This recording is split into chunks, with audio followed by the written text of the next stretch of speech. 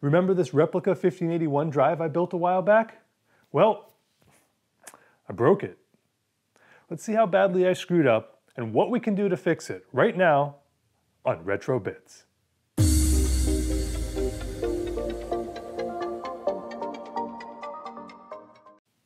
Where we last left off with this replica 1581 is that I had three tasks that I wanted to complete before I was going to consider this project a success. The first of which was to get a better fit and finish on the eject button. And so I've reprinted it using the Amiga 500 color matched PLA filament and I think it came out really, really good. The color match is really close to this 1581 front bezel, so I'm quite happy with the texture and the color there.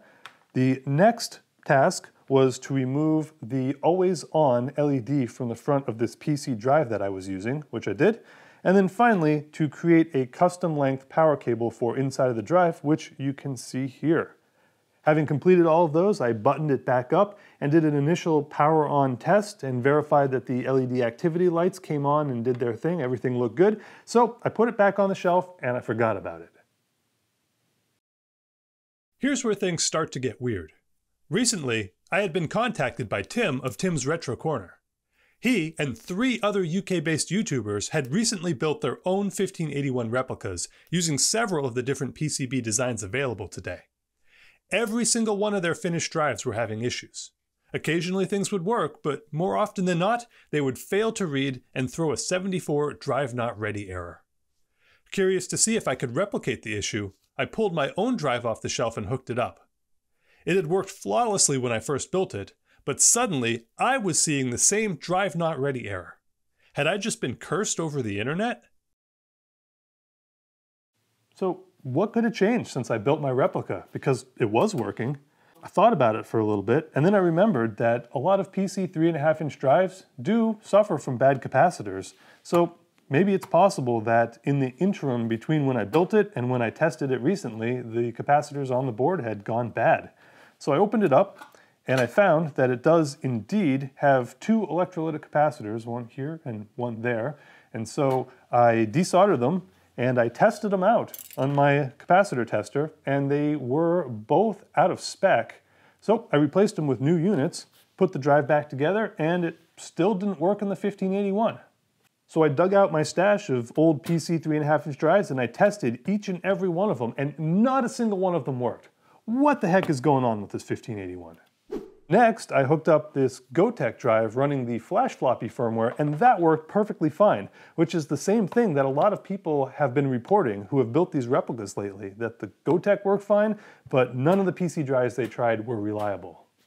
So what else have I done since it last worked? I mean, the most recent thing I did was to build this power cable, so I guess we can look at that. Well, I'm looking at the cable here and it looks fine to me. Pin 1 is red and that's plus 5 volts. Pin 4 is yellow and that's plus 12 volts. And if we flip it around, the same story on the other side. So yeah, that all looks good to me. Let's take a look at the interface board that converts the PC drive for use with an Amiga or the Commodore 1581. We'll plug in our cable here. And yeah, pin 1 is red and that's plus 5 volts. Uh-oh. Same goes for the power connector. Pin 1 carries 5 volts and pin 4 carries 12, so don't get them backwards. Huh, I guess I should have listened to myself. Well, I must have fried the logic board on each and every one of these PC drives that I plugged in since I've made this power cable. Well, that sucks. It's actually not the cable's fault. I did that right. As it turns out, I just soldered this connector on backwards when I originally built this adapter board, and I was using regular wires with DuPont style connectors, so I just made sure that plus 5 volts went to pin 1 on the drive, and everything worked fine until I built this cable.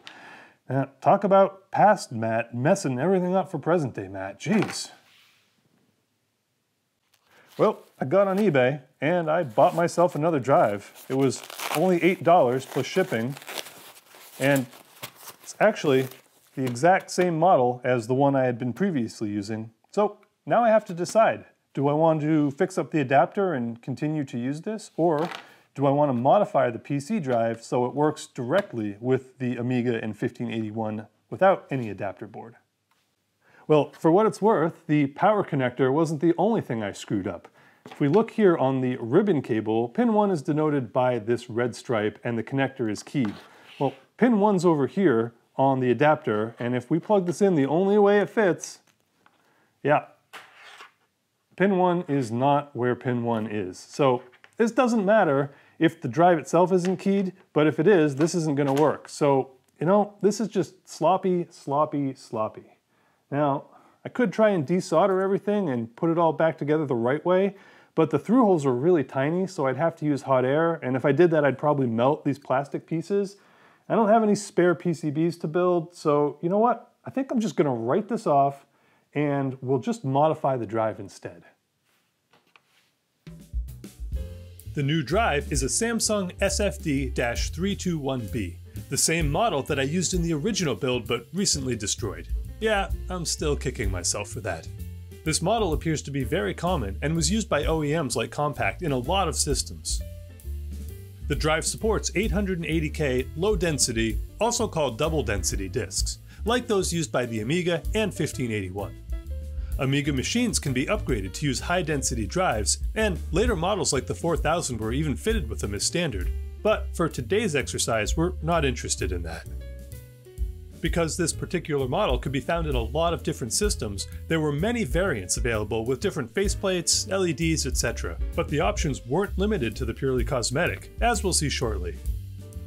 Of interest is that this drive doesn't use the 12 volt pin on the Mini Molex connector at all, and this whole mess could have probably been avoided if I'd left the header off the PCB in the first place. Oh well. For what it's worth, I've already tested this new drive in a PC just to ensure that we're starting from a known good point.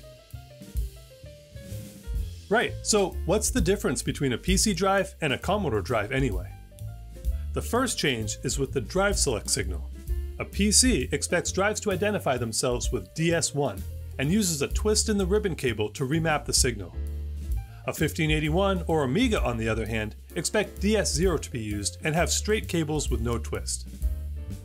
Next, the PC expects to see a disk change signal on pin 34 of the cable. Commodore drives instead send the ready to access signal on this pin.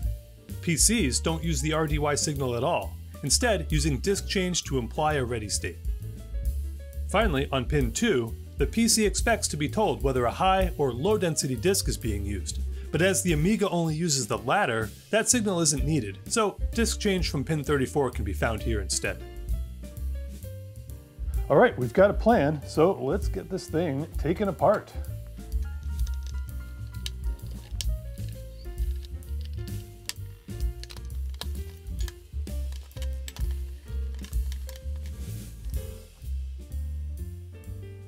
Let's start with the drive select signal. As I alluded to earlier, the Samsung unit provides a host of configuration options and gives us a way to configure the setting directly on the PCB. All right, so to change from the PC's Drive Select 1 to the Amiga's Drive Select 0, all we have to do is remove this solder blob and move it over to this pad instead. So that's what I'm going to do.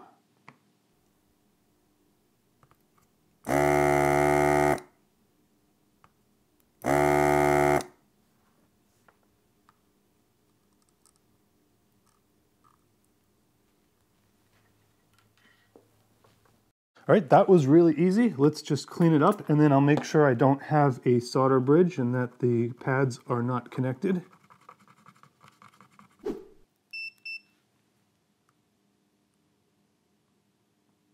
Okay, we're good. Moving on. Almost as if they had this use case in mind, the Samsung Drive also lets us easily configure whether we want the disk change or ready signal on pin 34. All right, the next thing we want to do is the pin 34, which we can find right here. We want to change it from the disk change signal on the PC to the ready to access signal on the Amiga. And if we follow it here, it's controlled by this block of jumpers. And we have a zero ohm resistor here on disk change, and we just need to desolder that and move it over to the RDY block instead. So what I'm going to do is I'm going to put down a little bit of flux here to help me try and remove this without causing too much damage. Then I'll try and desolder it first and lift that out without damaging any pads. That's the idea anyway. Yeah, that didn't work too great, so I think what I'm going to do is just try it with a soldering iron and see if I can lift each side one at a time.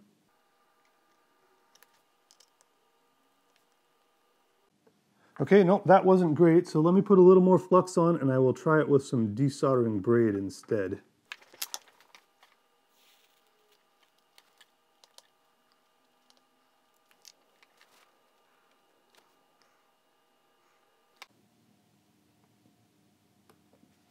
There we go. Okay, that wasn't as easy as I thought it was going to be. But we got there in the end. Let me clean it up a bit more.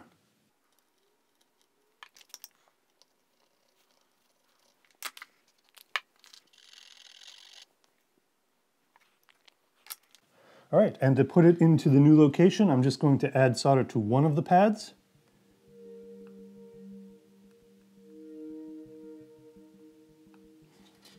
And just like a surface mount cap, I'm going to slide the part in with the solder melted again.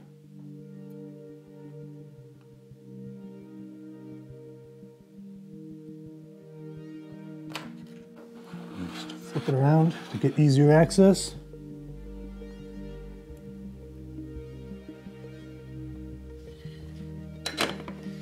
We go.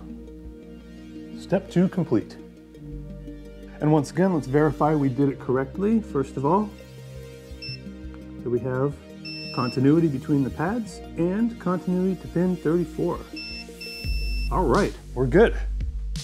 All that's left now is to map pin 2 to the disk change signal coming out of the controller chip here on the pad that we just disconnected. So pin 2 is connected to this solder blob here which controls the density for the PC. I'm going to remove this solder blob and then run a jumper wire from this pad over to this pad and then we should be done.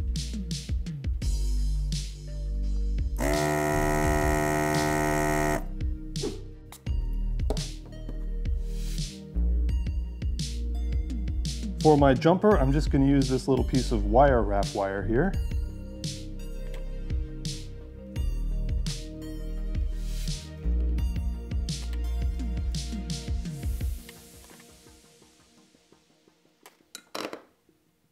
All right, and let's make sure that we didn't bridge this with our wire.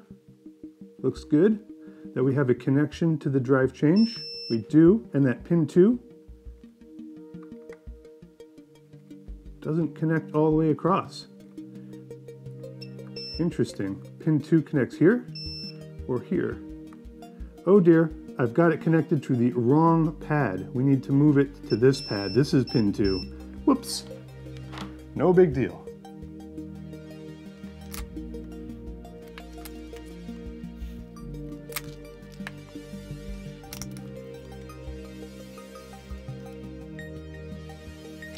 There we go. Let's try that again. Once again, let's make sure we don't have continuity. We have continuity to pin 2, and pin 2 has continuity to drive change. Disk change. Nice, we're good to go. And for a finishing touch, I will just take a piece of Kapton tape and stick down my wire like that, just so that it's secure. All right, let's test this thing out. Oh, but before we do that, one final thought. I read online that we need to make sure this in-use NHDD jumper is not connected, and on our drive, it is not connected. But on some PC drives, other people have found this to be connected, and that can cause a problem. So you'll need to remove those jumpers if your drive has that. You know what, before we move on, our old drive had bad electrolytic capacitors, so let me just replace them while we're in here. There's only two of them, and they are 47 microfarad at 25 volt. So let's just do that as cheap insurance. And of course I would have put the wire right where the capacitor is.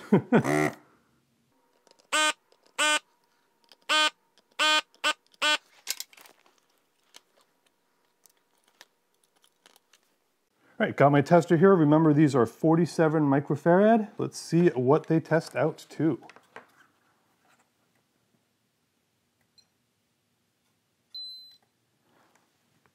All right, 44.46 microfarad, but 2.3 ohm ESR, which is high. So that could stand to be replaced. Let's try this other one.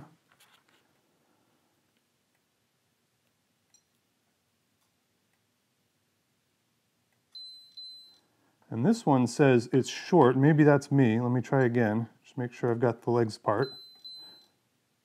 Okay, no, this one's good. 45.15 microfarad, 0.82 ESR. So this cap is good. The other one has a high uh, equivalent series resistance. So I'm going to replace them both.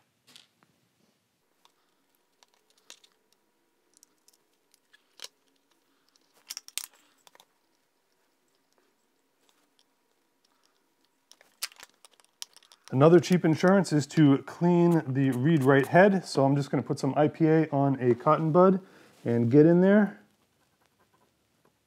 Get the top one and the bottom one. Double-sided drive, of course.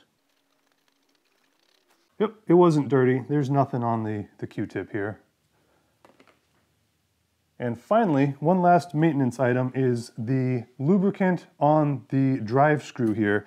Now I took a look at it and as you can see, it's this green stuff right there. And it is nice and supple and there's still plenty of it. You can see how easily it smears around and there's lots of it on the screw. So I am not gonna remove or replace that. We're just gonna call it good. I think now we're finally ready to test.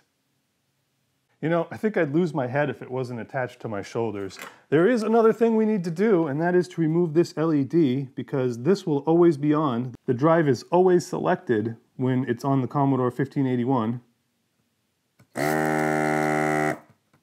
And we don't want that on our 1581.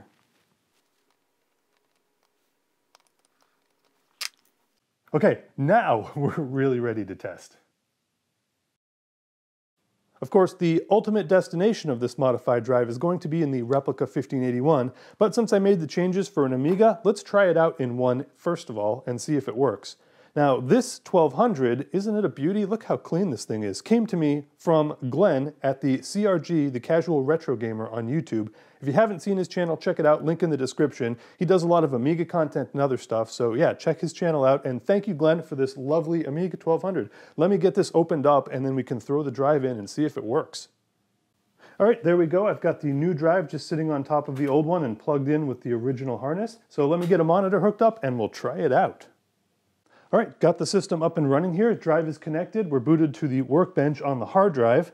And the nice thing about this system is it came with all of the pack-in titles as well. And so we've got Deluxe Paint and we've got a couple different games and things in here. So let me just throw in Deluxe Paint into the drive and see what happens. It's reading. Cool, we've got the disk icon on the desktop. Let's see.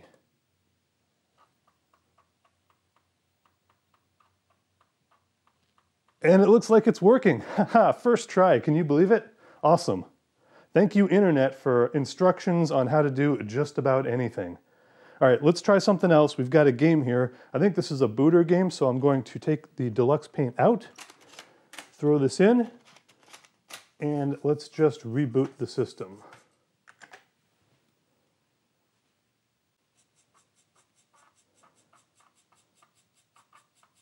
there it goes.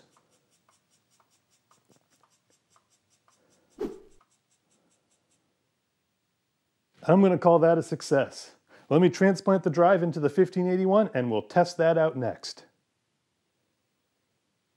All right, so I've got the drive loosely installed in the 1581 and just so there's no confusion, pin 1 is red and that's plus 5 volts.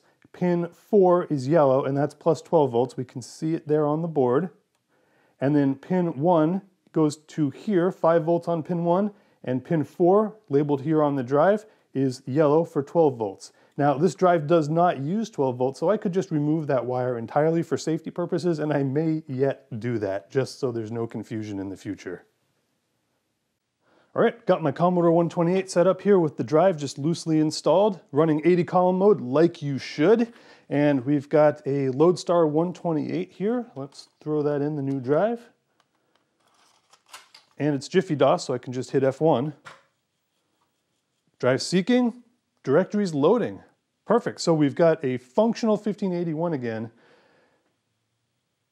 I'm really happy about that, guys. After how many drives I killed testing this thing, uh, just such a simple thing, and I feel so stupid for it. All right, so the next test is to change the disk and see if it recognizes the disk change, because that's a problem the other guys have been having with their 1581 replicas. Yep, it's showing GEOS 128 as the disk header, so that's working. Let's just see if we can load GEOS 128 from this.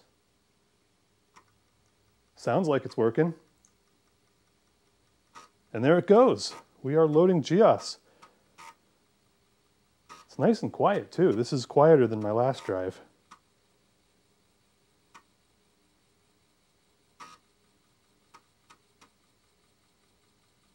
All right, guys, I think I'm gonna call this a success. We have a fully functional drive and we're not using the adapter at all. So this PC drive has been converted to the Amiga and the 1581 with no problems. Awesome. All right, one last thing before we can call this project a complete success, and that is that apparently not all Samsung SFD321B drives have the same physical geometry. The old drive worked just fine in this 1581 housing, but the new drive, if I insert a disk here and press eject, the disk binds up in the housing. It can't clear the front faceplate of the 1581. In order to correct that issue, I modified and reprinted the drive sled, and the new version is 3 millimeters shorter than the original. With that done, the drive is all buttoned up and ready for service.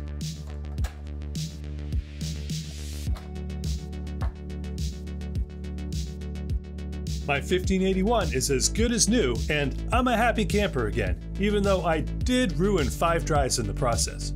Perhaps I'll be more careful in the future. So, what about Tim and the others who are still having issues with their builds? Well, it seems like the replica board from Tomza 1 on Forum64.de that I used in my build just works. Other enhanced replica boards that came out shortly thereafter seem to be the ones with issues. At the time this video was released, the specific problem has yet to be identified, so keep that in mind before you decide to build one of your own. Also, check out Tim's Retro Corner for updates on the situation and his two 1581 builds. The link is in the description. Keep in mind that the process I showed today is specific to the Samsung SFD321B, but the theory behind it applies to other PC drives as well. Well, I'm still mad at myself, but all's well that ends well, and we got to learn something new in the process. What's your worst retro screw up? Let us know in the comments. I hope you enjoyed this bit. Thank you so much for watching, and we'll see you next time on Retro Bits.